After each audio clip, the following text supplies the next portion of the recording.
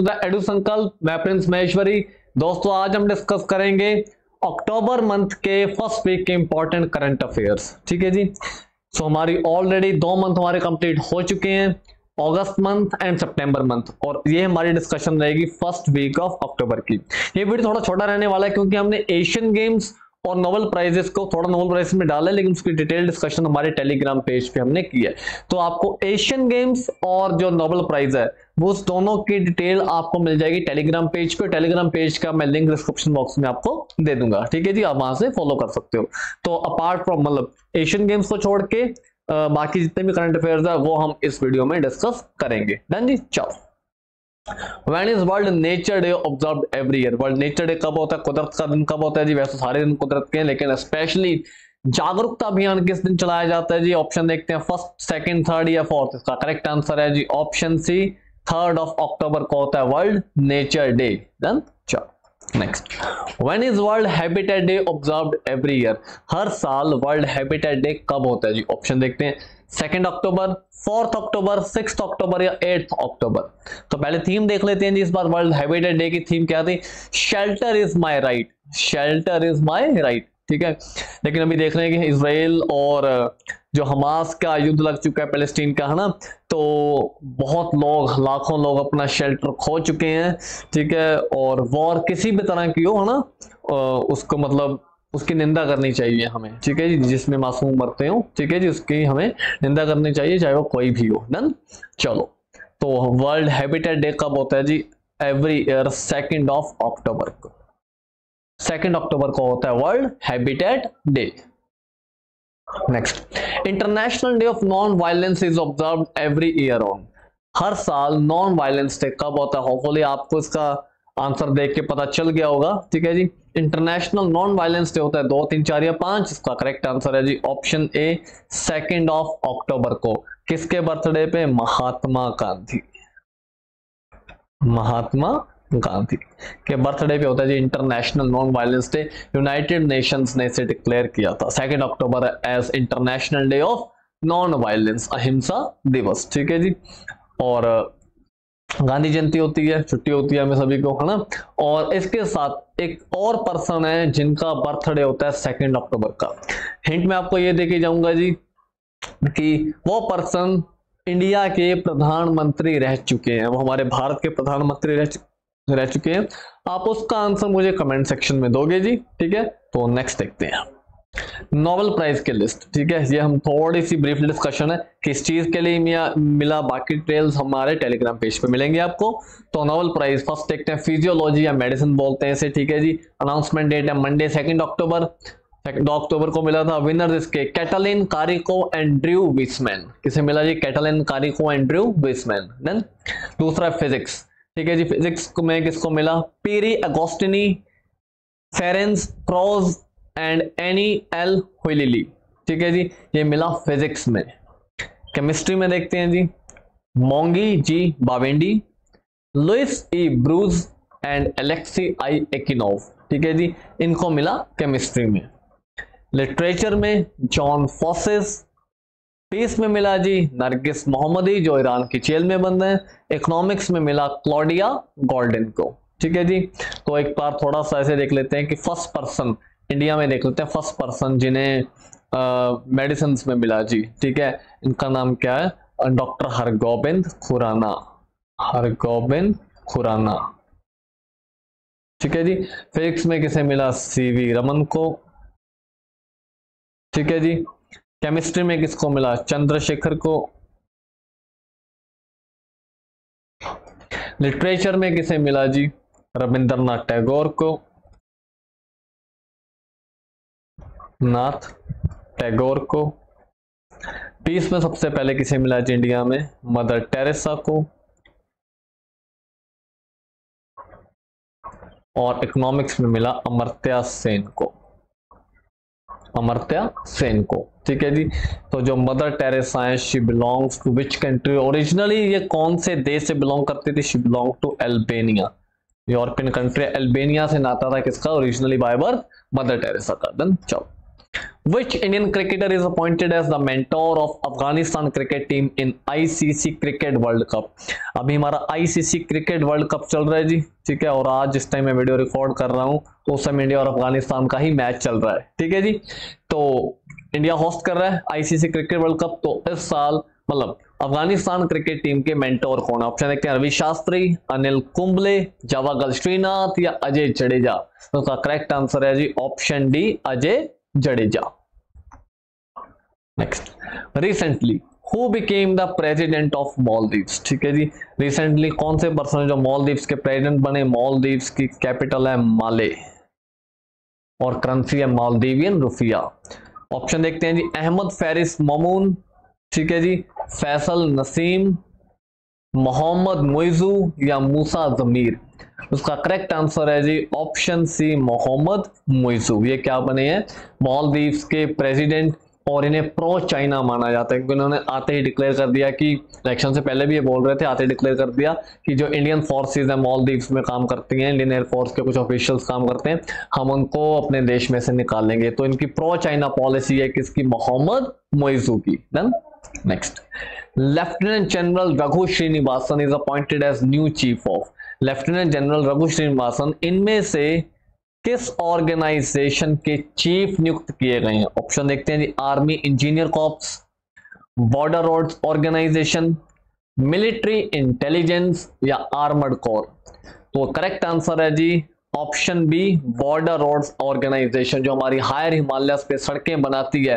हमारी पहाड़ों की रानी बॉर्डर रोड ऑर्गेनाइजेशन, जिसने लद्दाख से लेके कश्मीर से लेके, सियाचिन से लेके, उत्तराखंड से लेके, हिमाचल तक, पूरा सिक्किम नॉर्थ ईस्ट में, पूरे हायर हिमालय पे जो सड़कों का जाल बिछाया है, सुरंगों का जाल बिछाया है, टनलिंग की है, ठीक है, बॉर्डर रोड ऑर्गेनाइजेशन को हम सलाम करते हैं। तो लेफ्टिनेंट जनरल रघु श्रीनिवासन क्या बने इसके चीफ?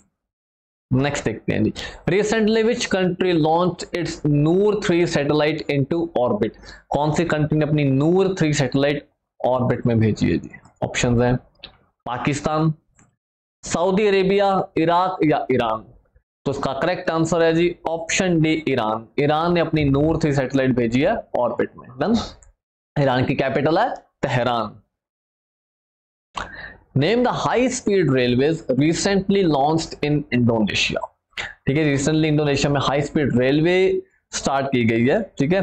तो उसका नाम क्या है? ऑप्शन देखते हैं जी। शिनकानसेन वुश स्ट्राइक या स्टारशिप तो इसका करेक्ट आंसर क्या होना चाहिए जी? ऑप्शन बी वुश इसका नाम है ऑप्शन बी वुश ठीक है जी? शिनकानसेन कहाँ की? जापान की बुलेट ट्रेन को बोला जाता है शिनकानसेन जापान। इंडोनेशिया की कैपिटल क्या है जी? पहले हुई थी जकार्ता, अब कौन सी है? ठीक है? तो ये भी आप कमेंट सेक्शन में आप मेरे को आंसर इसका दोगे, ठीक है? तो आपकी जी के साथ साथ में टेस्ट हो रही है, ठीक है जी? पढ़ाई भी हो रही है टेस्टिंग भी हो रही है, दोनों चीज़ें साथ साथ में चल रही है। डन अभी नई कैपिटल शिफ्ट कर चुका है मतलब डिक्लेयर कर दिया है शिफ्टिंग हो रही है इंडोनेशिया ने, क्योंकि जो ये हमारा जकार्ता है, ये बहुत तेज़ी से क्या है, डूब रहा है और आने वाले कुछ सालों में जैसे जैसे सी लेवल राइज हो रहा है तो ये सबमर्ज हो जाएगा। डन चलो। World animal health welfare day कब होता है जी? एनिमल हेल्थ वेलफेयर डे कब होता है? Options are fourth October six October eighth October या टेंथ अक्टूबर इसका करेक्ट आंसर है जी ऑप्शन ए फोर्थ अक्टूबर को होता है world animal health welfare day इसकी थीम है जी ग्रेट और स्मॉल लव देम ऑल चाहे छोटा हो, चाहे बड़ा हो, सभी को प्यार करो जी ग्रेट और स्मॉल लव देम ऑल ठीक है? बहुत प्यारी थीम लगी। ठीक है? World animal health welfare day कब होता है? फोर्थ ऑफ़ अक्टूबर को। ICC named which former cricketer as its global ambassador ICC ने कौन से फॉर्मर क्रिकेटर को अपना ग्लोबल एम्बेसडर नियुक्त किया ऑप्शन देखते हैं Ricky Ponting Sachin Tendulkar Brett Lee या ब्रायन लारा इसका करेक्ट आंसर है जी। ऑप्शन बी सचिन तेंदुलकर को आईसीसी ने अपना ग्लोबल एम्बेसडर अपॉइंट किया है, ठीक है? और आईसीसी का जो हेडक्वार्टर है जी। इसका हेडक्वार्टर कहाँ पे दुबई में। ठीक है? आईसीसी के चेयरमैन कौन है या प्रेसिडेंट कौन है जी? क्रेग बार्कले न्यूजीलैंड के फॉर्मर प्लेयर हैं क्रेग बार्कले ठीक है? दोनों क्वेश्चन आप लोग ध्यान में रखना। नेक्स्ट देखते हैं जी। अस्त्र इज़ एन बहुत ज़्यादा बार एग्ज़ाम में रिपीट होने वाला क्वेश्चन है। और हमारी भी वीडियोस में कई बार ये क्वेश्चन रिपीट होता है। जैसे जैसे ये न्यूज़ में आता रहता है, हम भी अपने इसमें डाल देते हैं, ताकि जो नए नए स्टूडेंट्स हैं, वो इससे वाकिफ होते जाएँ। तो अस्त्र इज़ एन अस्त्र क्या जी? Surface to surface missile surface to air missile air to surface missile या एयर टू एयर मिसाइल ठीक है जी। अस्त्र मिसाइल की को इंडक्शन के लिए फाइनल अप्रूवल मिल गई है। ये भी इंडियन एयरफोर्स में इंडक्ट हो रही है जी। So Astra is an air to air missile ये बहुत इंपॉर्टेंट क्वेश्चन ध्यान में रखना, आप लोगों को किसी ना किसी एग्ज़ाम में क्वेश्चन देखने को मिलेगा। ठीक है जी। अस्त्र कौन सी? एयर टू एयर मिसाइल खास करके जो स्टूडेंट्स एफ़ कैड वगैरह की प्रिपरेशन कर रहे हैं, उनको बहुत हाई चांसेस है ये क्वेश्चन मिलने के। नेक्स्ट देखते हैं। Sampriti is a joint military exercise between India and देश संप्रीति, दो देशों की ज्वाइंट मिलिट्री एक्सरसाइज है कौन कौन से? भारत और ऑप्शन देखते हैं, नेपाल, बांग्लादेश मालदीव या म्यांमार। तो संप्रीति है जी हमारे बांग्लादेश के साथ। Is joint military exercise between Bangladesh, जो उमरोई, मेघालय में हो रही है जी, इसका वेन्यू क्या है? उमरोई, मेघालय। कौन सी जी? Sampriti exercise India and Bangladesh. ठीक है जी, बांग्लादेश कैपिटल है ढाका। करेंसी है टका। बांग्लादेश की कैपिटल क्या है? ढाका। करेंसी है टका। और बांग्ला बांग्लादेश के प्राइम मिनिस्टर कौन है जी? शेख हसीना। ठीक है जी, चलो। Who is the chairman of CBDT central board of direct taxes recently इनको ऑलरेडी यही है, लेकिन एक्सटेंशन मिल गया इनको, ठीक है? Who is the chairman of CBDT central board of direct taxes के चेयरमैन कौन है? ऑप्शन देखते हैं, संजय कुमार अग्रवाल, संजय मिश्रा एस एन श्रीनिवासन या नितिन गुप्ता? तो इसका करेक्ट आंसर क्या है जी? ऑप्शन डी नितिन गुप्ता, जो सीबीडीटी के चेयरमैन है। Central board of direct taxes है ना? और जो central board of indirect taxes and customs है, उसके चेयरमैन है Sanjay Agarwal. Central board of indirect taxes and customs ठीक है जी? डायरेक्ट टैक्सेस के कौन है? Nitin Gupta. It works under ministry of finance और हमारे फाइनेंस मिनिस्टर है जी निर्मला सीतारमन। अगला देखते हैं। Who is appointed as CEO and MD of South Indian bank by RBI reserve bank of India ने रिसेंटली किसे अपना सॉरी किसे साउथ इंडियन बैंक का सीईओ या एमडी अपॉइंट किए? जी ऑप्शन देखते हैं। Murali, Sridharan P R Seshadri K N Madhusudan या टीवी सोमनाथन। तो उसका करेक्ट आंसर क्या है? जी option B P R Seshadri. ठीक है जी पी आर शेषाधरी क्या है?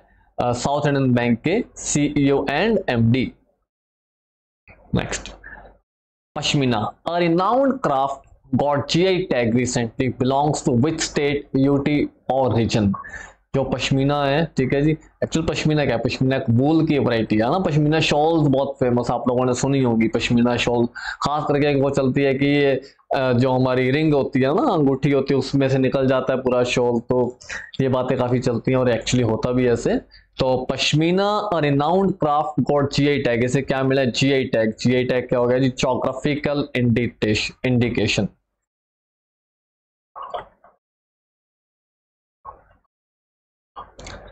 ठीक है बिलोंग्स टू विच स्टेट या यूटी कौन से स्टेट या यूटी से बिलोंग करती है? ऑप्शन देखते हैं, लद्दाख, मणिपुर, नागालैंड या Jammu Kashmir. So it belongs to option D Jammu Kashmir. ठीक है, जम्मू कश्मीर से फ़ेमस है जी। पश्मीना शॉल या पश्मीना क्राफ्ट या पश्मीना बोल आप कुछ भी कह सकते हो। Next who is the first Indian women to get global Indian award Bharat की पहली महिला कौन है जिन्हें ग्लोबल इंडियन अवार्ड से नवाजा गया? ऑप्शन देखते हैं जी, अरुंधति भट्टाचार्य, नीता अंबानी, किरण मजुमदार शॉ या सुधा मूर्ति? तो इसका करेक्ट आंसर है जी ऑप्शन डी सुधा मूर्ति। जो इन्फोसिस के को फाउंडर है एन नारायण मूर्ति उनकी वाइफ है Sudha Murthy she is great author and philanthropist ठीक है सुधा मूर्ति तो इन्हें ग्लोबल इंडियन अवार्ड से नवाजा गया सुधा मूर्ति को, ठीक है जी? और जो ऋषि सुनक है, Rishi Sunak prime minister of Britain premier of Britain वो इनके सन इन लॉ है जी। क्या इनके? सन इन लॉ इनके दामाद हैं जी। ऋषि सुनक ठीक है? सुधा मूर्ति और एन नारायण मूर्ति के।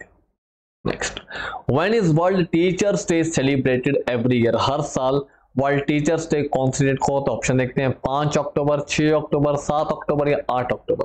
जो हमारा नेशनल टीचर डे है, वो तो हमें मालूम है जी फिफ्थ ऑफ़ सेप्टेम्बर को होता है famous fifth of September this is national teachers day on the birth anniversary of doctor S Radhakrishnan